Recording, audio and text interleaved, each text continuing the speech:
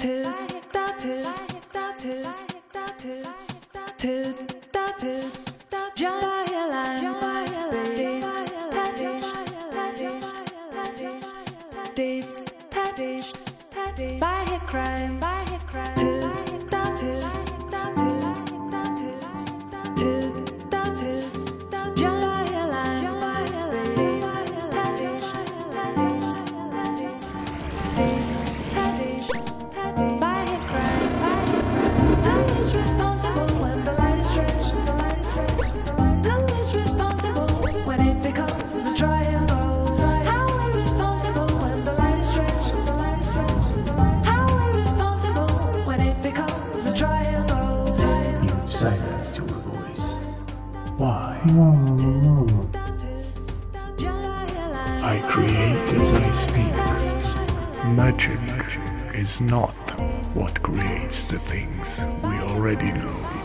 So, what is magic?